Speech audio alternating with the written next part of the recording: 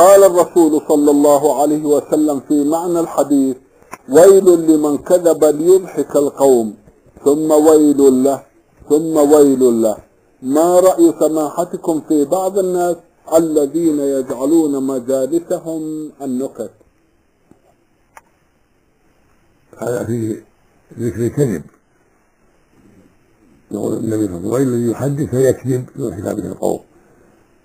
إذا كانت النكتة فيها كذب ما يجوز أما إذا كانت النكتة ما فيها كذب ما تسمى كذب ما تدخل فيها.